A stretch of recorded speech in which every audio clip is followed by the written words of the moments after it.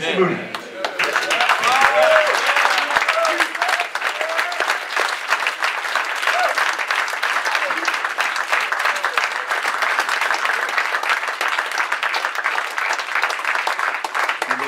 We, uh, Pastor Walt gets up to share, I uh, always cringe because I think, man, I need to get saved every time he talks. We were, we were at the uh, prison function few while, a, little while back, and we had to kind of trick Pastor to go, and I justifiable deception had him come under other pretenses when he was being awarded like the 60-year award for being in the prisons and in the jails or however long it was. And everybody there pretty much loved God. It was serving God, the chaplains, the people. And of course, when Pastor Walt gets up, he starts to do an altar call and challenges us all to be saved. So I mean, these wardens and all these people, he's challenging them to be saved right there. This, this is just, it's who he is. And just like right now, you know, I'm sitting there checking myself, like, man, I need to get what I need to get straight here because we're going to bear fruit. We need to get some stuff straight, right? How many, how many would say I still need, you know, I want to go to heaven, but not tonight. I still need to get some things straight. You know I mean? I want to go to heaven, Bishop. Right now?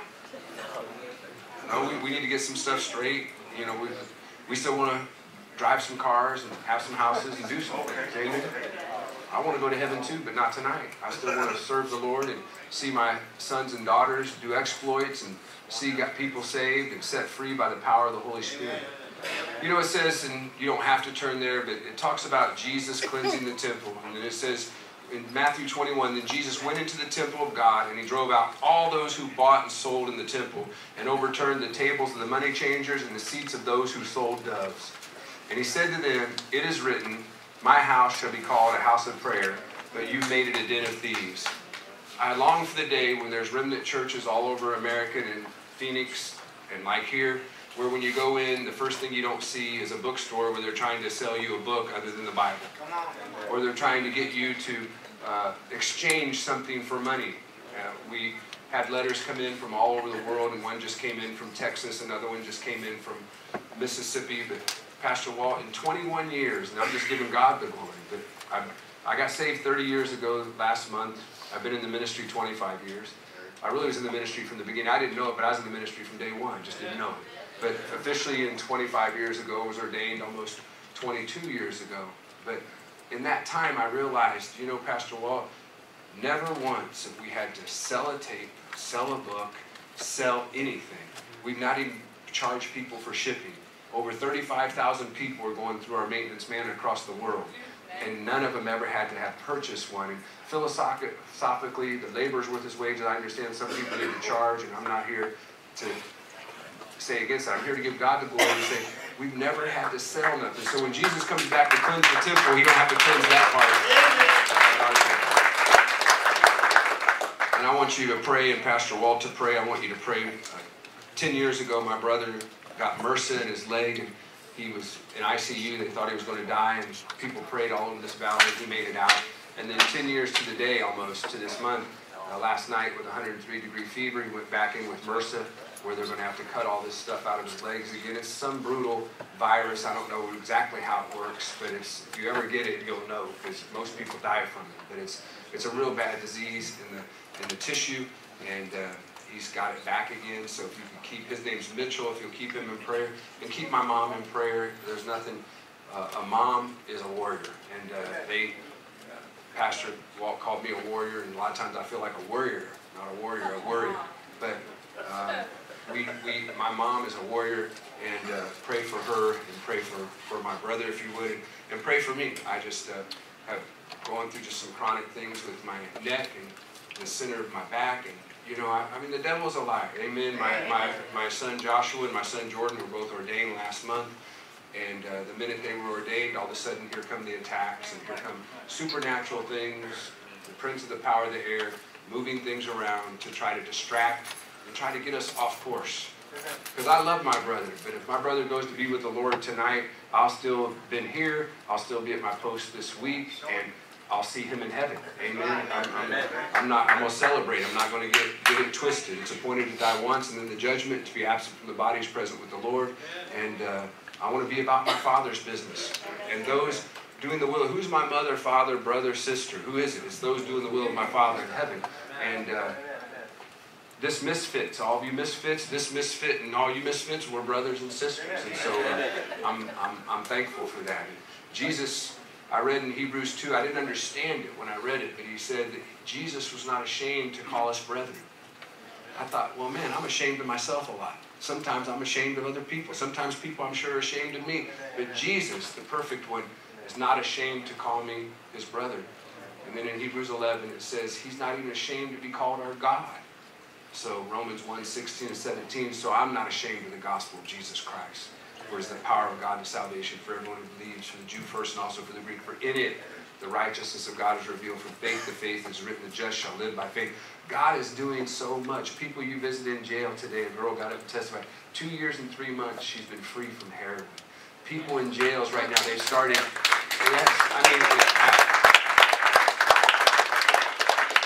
I'm sure heroin's addictive. You know, as, as, a, as a white supremacist, we always did cocaine. We didn't do the lower things. We stayed on the higher drugs. How many you know it's drugs a drug, right? And it's, it's to take you down one way or the other. But she's been clean for two years and three months, and I think that's awesome. And just people are being touched all over. And praise reports were coming in just stacks of them, Pastor. Well, we couldn't get through them fast enough. We had a whole two-hour service just praising and thanking God and public testimony of what God is doing. And He's doing it everywhere.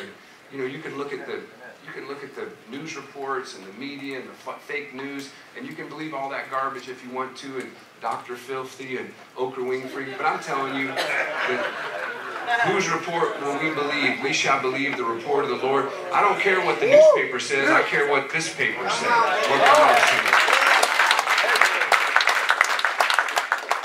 I don't want to be on Facebook. I want to have my face in this book. I want to be faced in this book because because this is going to tell me the truth about who God is, and God's going to tell me the truth about who I am and who you are.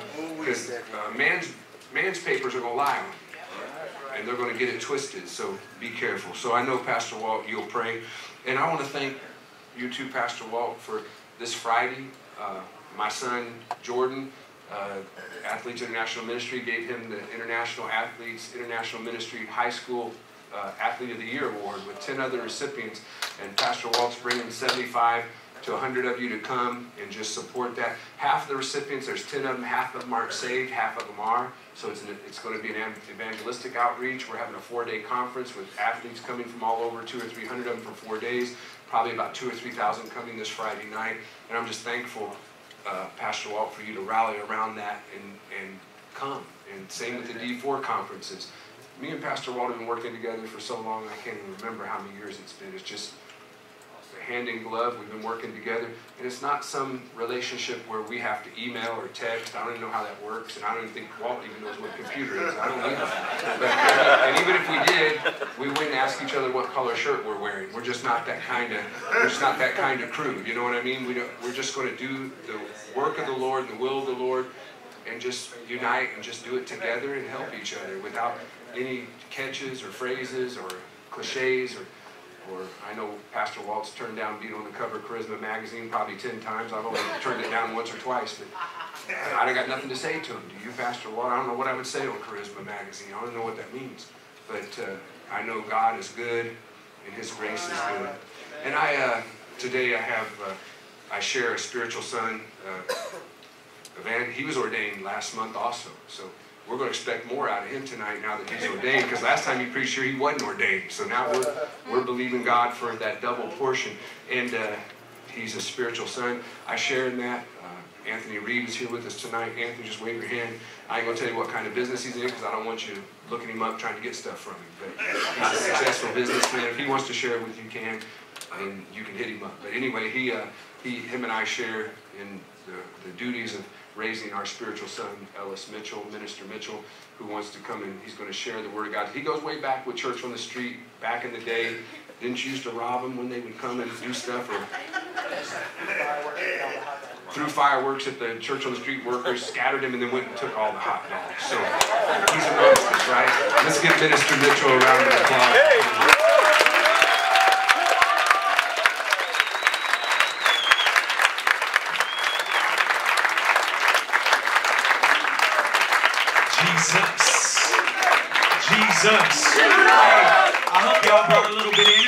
Tonight because um, we serve a God that's alive and well. No, I, I, y'all sitting down. I don't think you believe it. We serve a God that's alive and well. We serve a God that's alive and well. The enemy is defeated. He's crushed under the feet of King Jesus, and we bear the blood of King Jesus. And so the enemy is crushed under our feet. What a privilege it is, Father. Be seated, guys. Father, we just come to you right now in the name of Jesus, Lord, and I thank you for this place. I thank you for this place, Lord, a place where men and women can come together, Lord God, and they they know who they are. They know the struggles of this life that we share, the common struggles that we share, Lord, and we all know that we're in need, in desperate need of a Savior, Lord, and you are Savior. You're the only one that can save to the uttermost, Lord, beyond bottomless, Lord God, where no one else could reach. Jesus, your arms are not shortened by our situation. And so we just thank you for the privilege to be in your presence. And I just ask, Lord, you're already here. I just ask that you just clothe yourself with me like you used Gideon, Lord, and just do your thing. Um, um, just do your thing, Lord. In Jesus' name, amen. Amen. Amen. I had uh, I had no idea where I was going to start tonight. Kind of knew where I wanted to end up, but you know what? I, I think what I want to do is remind us of the victory that we have in King Jesus. Now, understand, you know, because I, I, have a I have a brother who used to be a, uh, I mean, he used to be strong, I thought, in the Lord, and and he was my brother's 20 years older than me, and I used to look to him for for guidance, and. Um, he got himself twisted up in some some other things, some other doctrine, some foreign doctrine, and uh, you know it's it's just crazy. It's crazy what can happen when we forego the simplicity of the gospel message, the simplicity of the, the blood, the atonement, the blood, and the cross of Jesus Christ. It's you can get yourself out there and lost. So it's important that we stick to the scriptures. Yes, we overcame him, the enemy, by the blood of the Lamb and by the word of our testimony. Okay? But it's important that we stick to the scriptures because we could get ourselves lost. I don't know who that was for. Maybe somebody got somebody that's struggling in something or what, but stick to the basics. It's, it's power in that. It's power in that. But I want us to go, if you guys got your Bibles, let's open up to 2 Samuel chapter 23. And, you know, my, I guess I'm, I mean, I'm still kind of young, I guess, and as far as preaching and stuff. So I'm still developing a style and learning how to trust God and not over, you know, overreach and do things. But I like to tell stories because my spiritual father likes to tell stories when he preaches and give testimony along the way and just show how the, the scriptures are, um, how we can apply them to our everyday lives even now. You know what I'm saying? Like, the, it's not something that's so far away. It's not something that's so uh, mysterious that you can't relate to. You, you know what I'm saying? Like, it's easy to, to look back at all these men and women of God and see all the exploits that they did and like, man, that was that was dope for them back then. But that don't really relate to me and my my struggles. You know, they don't the, the Bible don't really talk about the dope that I was uh, addicted to. It don't really talk about, you know, the the women that I was addicted to. Well, if you pay close attention, spiritually speaking, you'll see that it relates to us right here today. The, the scriptures are like like the word of God says they're they're living and powerful and sharper than any two-edged sword pierces even to the division of soul, spirit, joints, and marrow. It's a discerner of the thoughts and intent of the heart. There's no creature hidden from his sight, but all things are naked and open to the eyes of him to whom we must give account. These words are living and they're powerful. But 2 Samuel chapter 23 is where I wanted to start because this is King David here. And we can relate to King David quite a bit because, as Bishop says every time he's here, that David was a man after God's own heart. Okay? But in knowing that, know that David was also a wild man. He was a he was a sinner. He was a contract killer. He was an adulterer. He was all these crazy things. Yet and still, he was a man after God's own heart. And I was having a conversation with my spiritual father the other day, And he was telling me, as you look through the scriptures and you see these these these stories and these things that people go through, most of the most of the holy writ were, were meant for us to see. You know, you, you read Ezra and Nehemiah, and they talk about the captives coming back and rebuilding this wall and rebuilding the temple and, and God bringing revival to the church. It was important that we saw that, and they wrote those manuscripts so we could see and relate and say, oh, revival is coming. It's time for men to gird up swords, the word of God. It's time for men to stand their post, right? And women of God to be alongside them and to rebuild the walls and to stand up and know that Christ is coming. But in the meantime, there's work to do. It was important that we read those manuscripts, and that's what they were for. But it was something about King David where you really look at his words and it's like, man, how did we get a hold of this? Because David is writing about things in a secret place where it's just him alone with God. And so as we read the, the, the privilege of reading King David's writings, understand it, David wasn't writing necessarily for a big audience to be reading and like, oh, that was tight. No, David was alone with his God. David was going through everyday struggles like we go through everyday struggles. And David was like, he'll find himself in a corner where all his men were around him, and even his own men wanted to stone him because their, their wives and their children got taken captive, and all their food and everything got took plunder. And David's by himself, and the scripture says that David relied on the Lord his God. And so when David found himself in that place surrounded by his enemies on all sides, David said, Lord, how they have increased to trouble me. Many are they who rise up against me. Many are they who say of me, There is no help for him in God. But you, O Lord, are a shield for me, my glory, and the one who lifts up my head. He said, I cried to the Lord with my voice, and he heard me from his holy hill. David said, I lay down, I slept. I awoke, for the Lord sustained me. I will not be afraid of ten thousands of people who have set themselves against me all around. Arise, O Lord, David says. Save me, O my God, for you have struck all my enemies on the cheekbone. You have broken the teeth of the ungodly. Salvation belongs to the Lord. Your blessing is upon your people. These are words, beautiful words that we have no business having a hold of, but we got them. And when you find yourself in that deep, dark place where you're surrounded all around, you can remember wait a minute. King David went through similar struggles. King David was a sinner like I'm a sinner, yet still he was a man after God's own heart because he relied on the Lord his God. Do you get what I'm saying? We don't got to stay in that murky water. We can rise up. But I got us at 2 Samuel. As soon as I find it, I'll be thankful for that. But this is King David now at the end of his life. And King David came to an understanding. Because, like I said, he had all these exploits, all these things that he endured, and all the beautiful writings to the Lord his God. But David came to this place, and this is literally in my Bible, it says David's last words. It says, Now these are the last words of David. Thus says David, son of Jesse. Thus says the man raised up on high, the anointed of the God of Jacob, the sweet psalmist of Israel. The Spirit of the Lord spoke by me, and his word was on my tongue.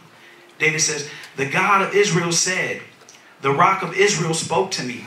He who rules over men must be just, ruling in the fear of God. And he shall be like the light of the morning when the sun rises, a morning without clouds, like the tender grass springing out of the earth by clear shining after the rain. In verse 5, David says, Although my house is not so with God. Now, as Bishop said before he left, I'm recently ordained. And you know, if I'm being 100% honest with you guys, I was excited about it. It was something that I prayed for, something that I longed for. My wife could tell you, my spiritual father and my family could tell you, it's something that I longed for. But when it came, it was different than I expected. Pastor Walton, any other pastors or men of God in this place, any ministers can tell you that the weight of carrying that thing can be heavy. Dude, when I, when a true story, when I woke up in the morning afterwards, I woke up and the only thing I could do was just, I mean, I cried like one of those snotty, nasty, ugly cries. And I just laid on the ground and I could feel my wife moving around me, got up, and she's like trying to figure out what to do with this grown, heavy man that's crying. And all she could do was like, yeah, turn on some worship music like, God, you deal with them, you do your thing. And, and that's what it takes sometimes. But, you know, we're called to press on and endure. And I think what I want to encourage you by, by going to this is understand that if you are under the sound of my voice, that God isn't calling you to stay where you are. You, you, you, get what I'm saying? Now, now don't get it twisted. If you in phase one, I ain't saying, no, dude told me to bum rush and get up out of here. No, no, no. Stick to the process. There's a process to this thing. But understand, don't get complacent where you are. You hear me? Don't get complacent where you are. Now, everything I have, I receive. So when you hear me refer to something that my spiritual father said, I'm sure that makes him proud because I'm learning little by little. But he taught me something else. He said, you know what? If you take a man who's been at his job for 30 years, and you take a man who's been at his job for one year, and the man who's been there for 30 years refusing to to learn and to grow but you know he has seniority so they're upping his pay every year. But he's still all he's really doing is just repeating year one for 30 years but you got this this young dude that's been there for a year and he's eager to learn he's excited to grab hold of whatever this job has for him so he can excel at it see sometimes in the ministry it's easy to become complacent and you get to a place where, you know what, I've been in this thing for a while. God owes me something. You know what? Pastor Walt owes me something. Bishop Moody owes me something. Mr. Reed owes me something. No, that is a lie from Satan. You hear what I'm saying? He would love to get us to a place where we just stay complacent and we there ain't no room to grow like that. But when you can see that's the beauty about having a real relationship with God. Because when you get in that secret place along with him, he'll he'll knock. He's knocking. And if you will answer that door and say, you know what, God, I know I've just been doing my own thing for a long time now, just, you know, rhythm and roll, just doing it. But God, I know that you have more for me. And I'm not going to overreach to get it. I'm not going to let my growth be stunted and stay in this place. But you know what? Give me that balance, Lord, and help me to walk this thing out according to your will, according to your way. And He's faithful and just to do it. That's the God that we serve. That's the God that we serve. And King David came to the to the realization that he's done all these beautiful things in his life. In his life, he's done all these crazy things in his life. But when he took account, he realized that you know all these attributes that a real true man of God should have, he fell short. So that should give us, you know, just a it should give us a fight to know, like, man, I got a chance at this thing. If I just hold fast and trust whatever it is that my God wants to do in my life, being sim- simply being obedient, huh, wife? Simple obedience will get us to that place, and, and it can change history. Look at Moses. I mean, if Moses was, I mean, Moses had every excuse in the world. God, I, I got to stutter. I, I, how can I tell your people people to to come out. You know, all the, he had tons of reasons not to go and be simply obedient to what his God told him to do. But when he did it, history was changed. And now we have those scriptures as our admonition that we can look back and say, man, if God did it then, he could do it again. He can open waters. He can move mountains. He can, you know, we can shout grace to things that we thought were impossible. And God can do it. He wants to do it. He desires to do it. He's just looking for people that would trust him with all their heart. Can we be those people? Now, I also wanted to go to, uh, I'm going to just jump into it. Let's go to Ephesians 5 15 through 16.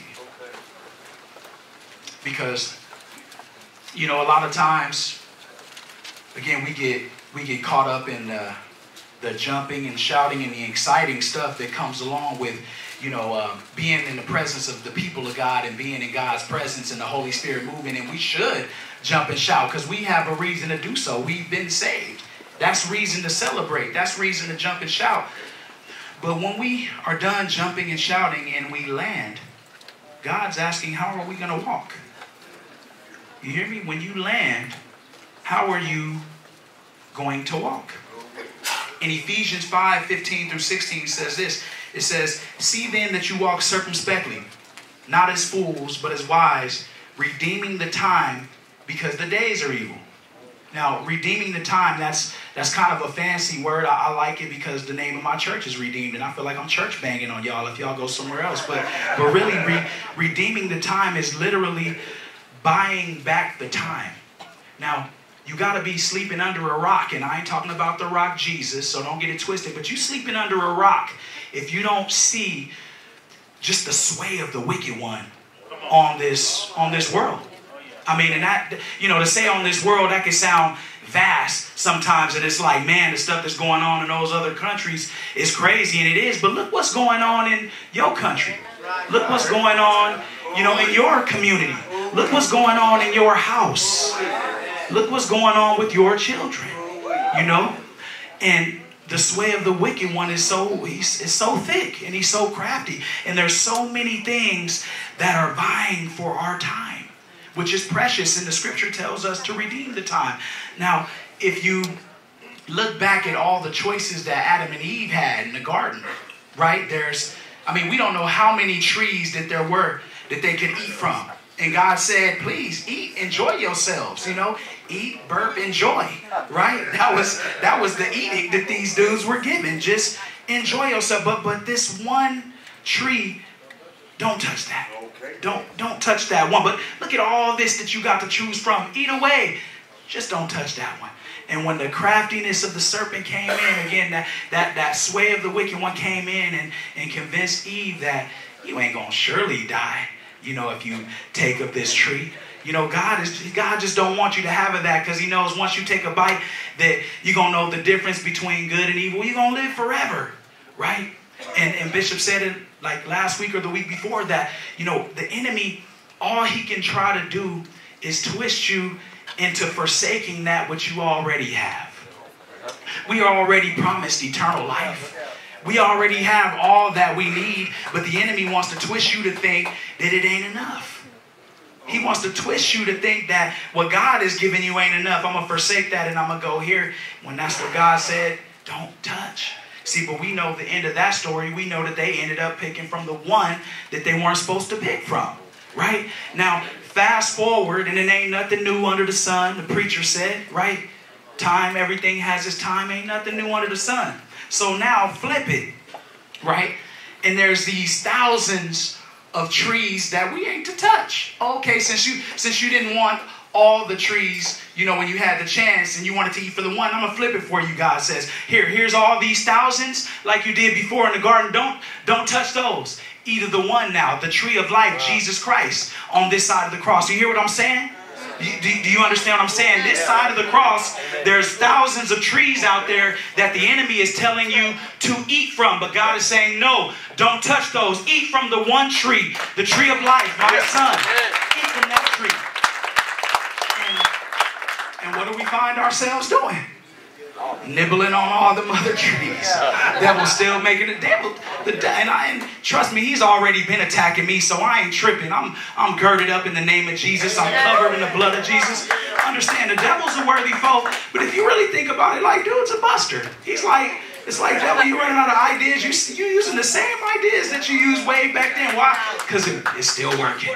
It's still working. It's still the lust of the fret, the flesh, the pride of life, right? The lust of the eyes, the pride of life. It's still the same old things that this flesh craves. This flesh craves. But we started off saying that the enemy is defeated.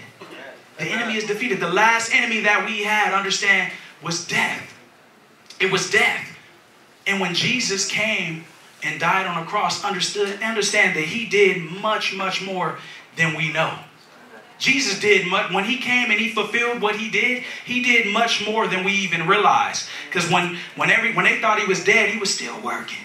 He still took the keys of death from Satan and said, This is mine.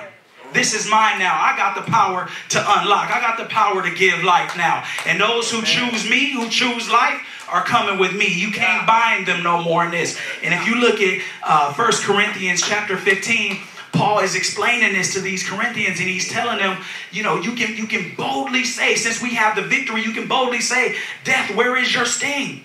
Oh grave, where is your victory? It's been swallowed up in the resurrection of Jesus Christ. If Jesus would have stayed dead, then yeah, we would still be under that sway. But since he's alive, we're alive in him.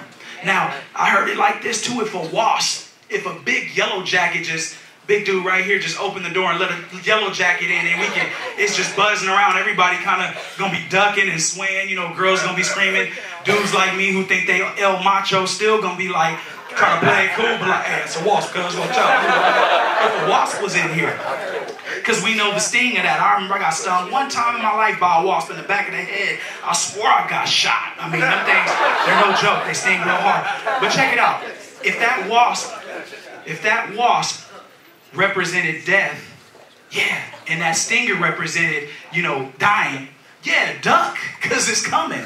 But understand that if the, the stinger on that wasp was torn off and you, you witnessed it, you heard about it and you could see it, oh, it ain't even got no stinger, would you still be ducking the same? Or would you just wait till you could just fire on it and just, ah, it like a fly and just crush it? And y'all are probably doing it in front of the ladies so they think you tough. Oh, I had a stinger. But, but understand that that's how, that's the picture of what it looks like, the way that Jesus disarmed the power of death. Death can no longer sting you. So you don't have to fear the death that is inevitable for those who are not under the blood of Jesus. That's why we can celebrate. That's why we can celebrate here. But but going back, see, there, there's all these trees that we keep nibbling from that God has told us to stay away from. But we continue to do it.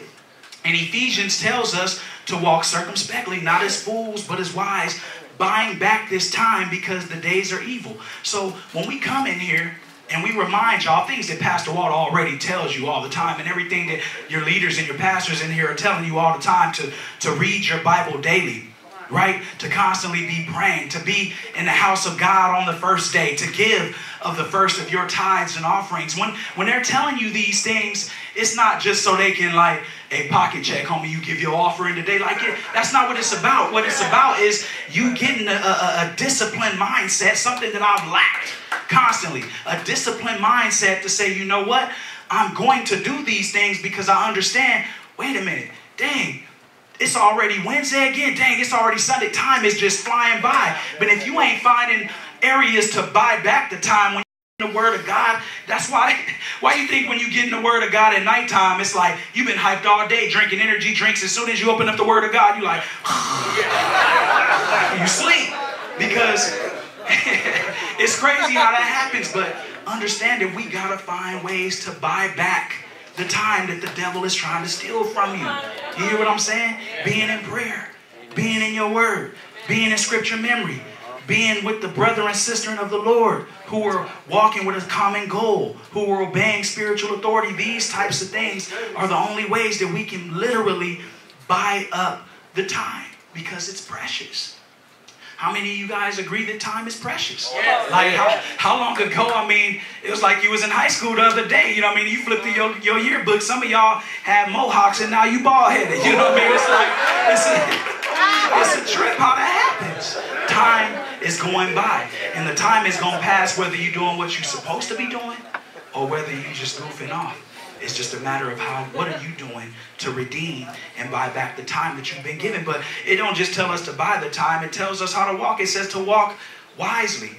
It says, see then that you walk circumspectly, not as fools. Fools squander. Fools squander the time, but as wise, redeeming the time because the days are evil. And that Bishop told us this. It's like a picture of, and, and for y'all, for those of y'all who this is review, just bear with me because somebody's life is literally on the balance. I know it is. Somebody's life is on the balance. So understand when you are redeeming the time and you are walking wise, it's literally that balanced lifestyle of having like a balance beam and walking on like a tightrope. And it's it's you know gorillas and you know crazy biting animals on that side and piranhas on the other side, and you are just trying to walk this thing out by faith and balancing. That's that's what it looks like. If you fall that way, you doomed. If you fall that way, you doomed. But this walk, this life, it's a narrow road.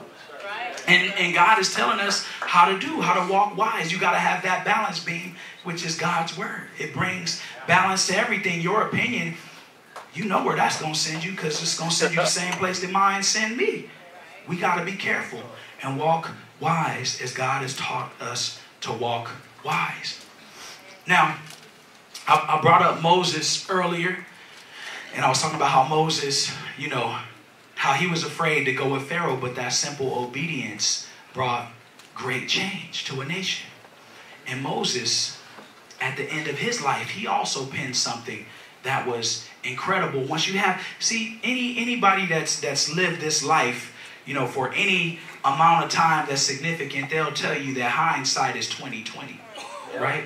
right? You know, if you've never, you know, did a 400 pound deadlift, you know what I mean? You will step up to that and you'll be like, that's scary, I can't do it. But somebody like my brother Gabriel, who, you know, does that in his sleep, he'll tell you, no, you can do it. You just got to work at it. Hindsight is 2020. You have to go through it sometimes in order to get the understanding of what it really means to accomplish that thing. And it's funny because, you know, somebody like Pastor Walt, who's been in this thing for a long time, they could tell you that, man, it started off where I just you know, maybe I needed more courage and I prayed for courage, but now I got all the courage in the world, but I'm starting to run out of juice sometimes. So now I'm praying for endurance. That's that'll be his testimony. Somebody who's younger in the faith to tell you, man, I'm just, I know what I need to do. I'm just kind of afraid to do it. You know, they, they may lack courage, but I'm here to tell you that if you ask, seek, and knock for the Spirit of the living God, He's faithful to give it to you.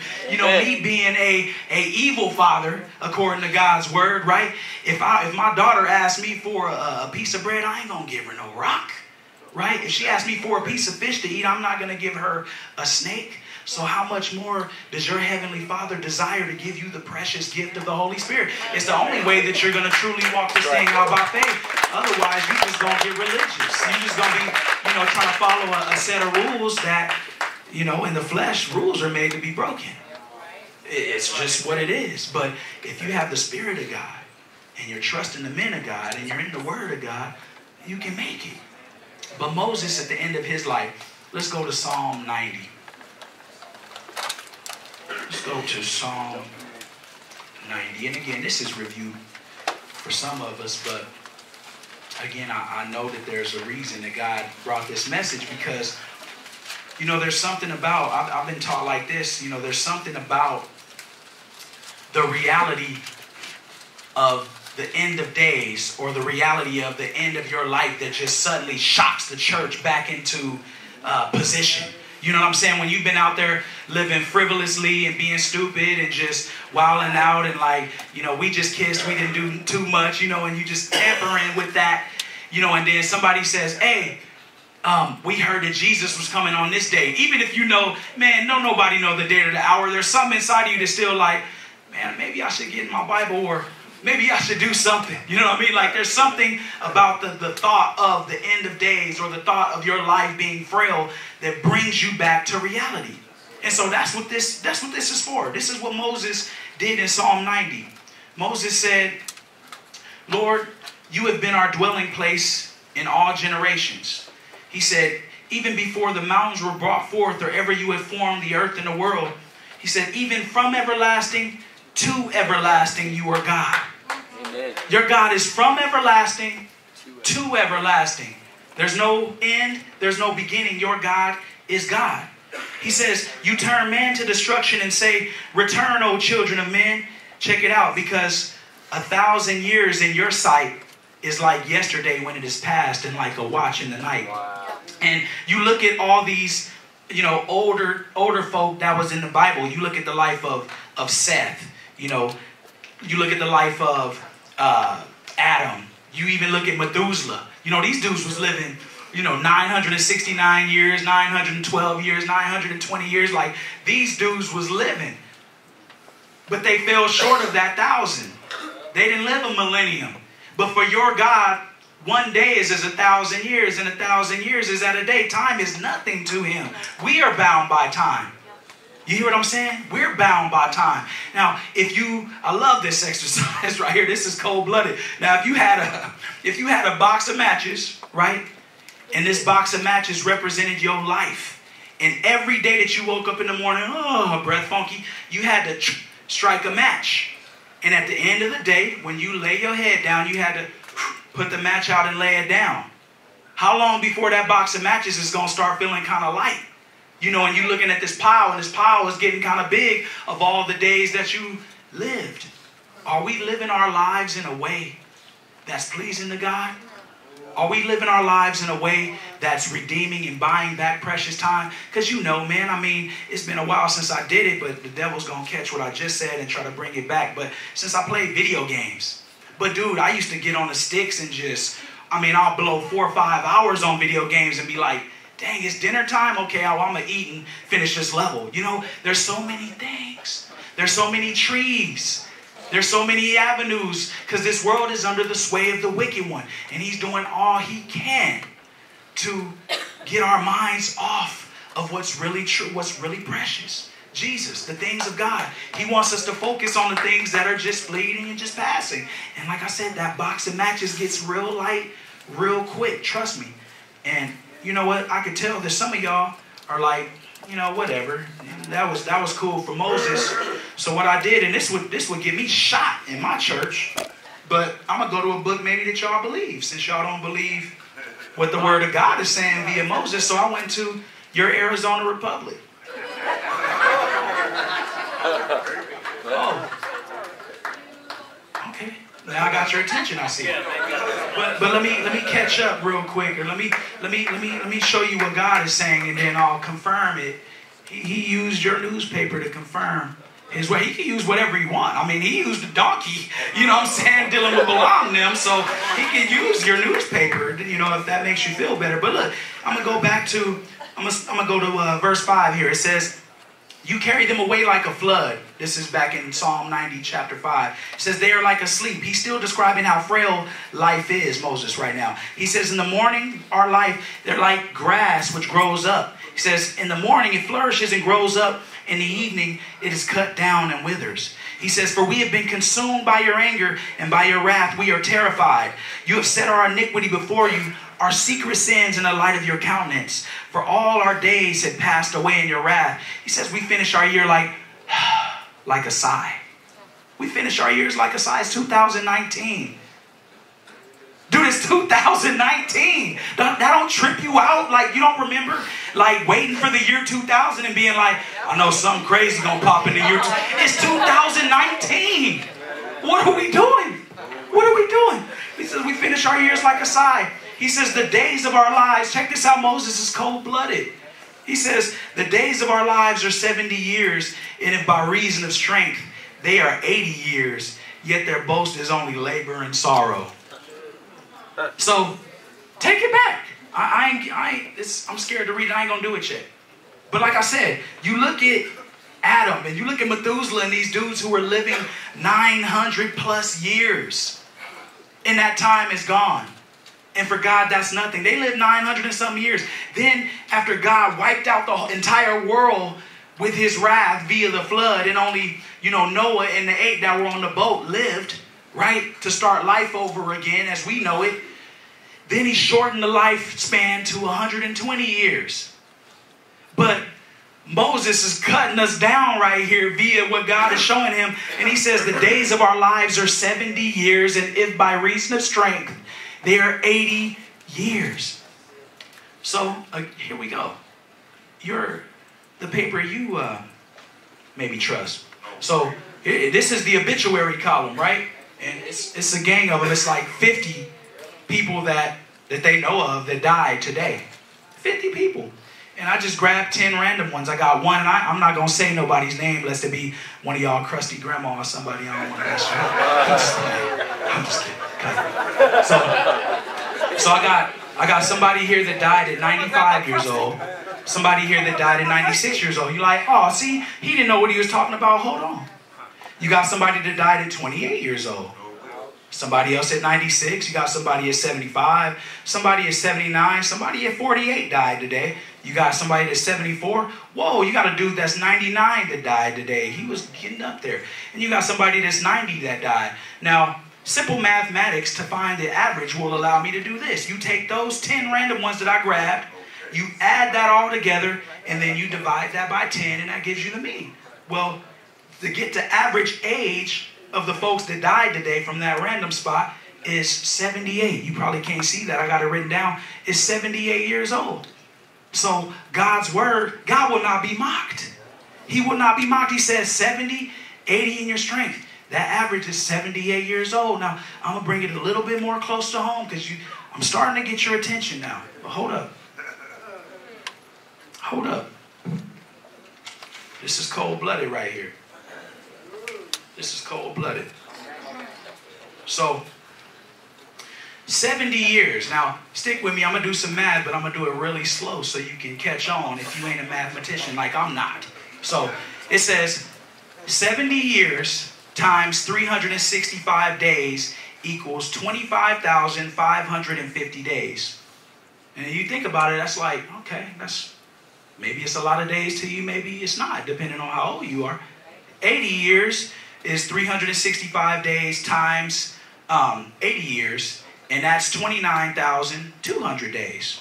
Okay, then I made it a little bit more personal for me.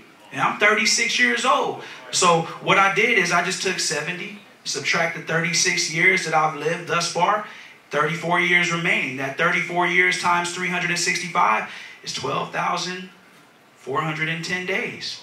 Now, if you're 50 years old in this place, according to this, you got 7,300 days. 7,300 days. Now, that's a cold piece. that's a cold piece. I mean, if you are living your life in a way, and I stand up here guilty as heck, I'm not up here pretending that I'm somebody that I'm not. Understand? Like I told you, I was ordained as well a couple years, a couple weeks ago, and just the reality of that was so heavy for me. And I realized, you know, God just began to show me all the things in my heart, the jealousy, as I looked at the, the various plaques of my brothers and sisters who were ordained, and I see, you know, various titles. I see associate pastors. I see, you know, all these things that I desired to have, and it's like, minister, wait a minute. I did not put in more work than that. This is my wicked heart. This is my wicked heart that I'm telling you, man. It's real. We all go through it. I'm I'm nobody special. I'm in need of a savior just like you are. You hear what I'm saying? You hear what I'm saying? Like, man, I, I look at all the time that I'm wasted. I look at all the, the, the resources that God has given me that I've wasted. Man, I, I should have I should have a home for my family by now. But I've, I, I just squandered and blew everything that God put in my possession. And so now I'm having to take it back a step and walk it out by faith. See, but a, a, a, righteous man or woman may fall seven times, but they rise again. It's the wicked that fall by calamity. It's those who are continuing to eat from those trees that they know they ain't supposed to be nibbling from. Those are the ones that fall by calamity. But us who are baptized in the name of Jesus, us who are covered by the blood of the Lord and Savior Jesus Christ, we have hope. We have hope. There's hope for us. Even though we've squandered and wasted everything that God has sent our way, there's hope. Now, I'm going to end here. And prayer team, if y'all want to begin to prepare, you can. Worship team, if y'all want to come, you can. And I, you know, I, I feel I, I, get what Bishop talks about now when he says that that, that Holy Ghost hush. You know, because like I said, there's something about the reality of time.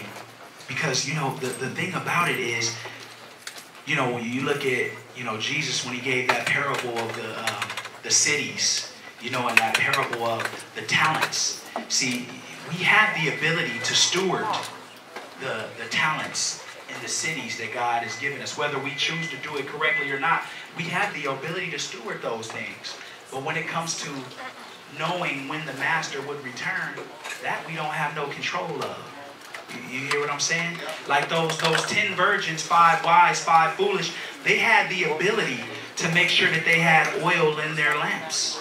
They all had the ability to go to the cities and, purchase the oil and be ready, but they didn't have the the ability to know when the bridegroom would come. So all we can do, ladies and gentlemen, men and women, all we can do is be ready for our master because we, we don't know when that last trumpet is going to blow. And we don't even know when the trumpet in our own life is going to blow. So all we can do is be ready and trust God But there's hope, like I said. There's hope. In Psalm 90, Psalm 91, I'm going to go to just to, to show us a glimpse of that hope. Psalm 90 now talks about those who dwell in the presence of the Lord and how they'll have the ability to trample scorpions underfoot and, and how they'll have the ability to, to, to tread on lions. But in verse 14, it says this it says, speaking of the love that our God has for us, and now Him giving the ability to love Him back, it says, because He has set His love upon me. He says, therefore I will deliver Him. This is your God talking to you. He said, because you have set your love on me, therefore I will deliver Him. He says, I will set Him on high because He has known my name. Your God says that you shall call upon me and I will answer you. He says, this is his promise to you. He says, I will be with you in trouble. He says, I will deliver you and honor you. And this is this is the hope that we have in Jesus. He says, and with long life, I will satisfy you and show you my salvation. With long life, I will satisfy you and show you my salvation. That's the promise that we have. So let tonight.